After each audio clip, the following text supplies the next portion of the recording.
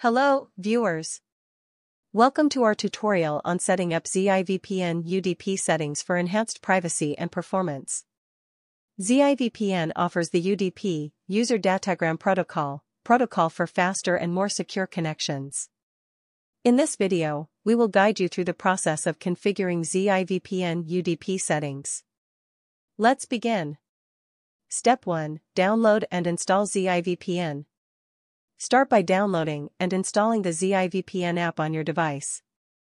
You can find it on the official ZIVPN website or through your device's app store. Follow the on-screen instructions to complete the installation process.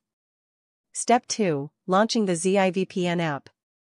Once the installation is complete, open the ZIVPN app on your device. Step 3. Enable data connection. Ensure that your device's data connection is turned on and active.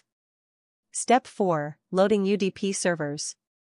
Long press on the arrowhead icon located within the ZIVPN app. This will initiate the process of loading the available UDP servers. Step 5 Selecting a server. From the list of available servers, select the desired UDP server that you would like to connect to. Step 6 Enabling UDP protocol. Tick the box next to the UDP option to enable the UDP protocol for your ZIVPN connection. Step 7. Initiating the connection. Tap on the Start button within the ZIVPN app to initiate the UDP connection.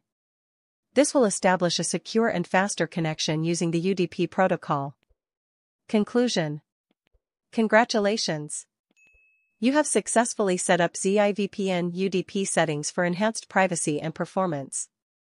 By utilizing the UDP protocol, you can enjoy faster and more secure connections with ZIVPN. Remember to ensure that your data connection is turned on, select a UDP server, enable the UDP protocol, and initiate the connection.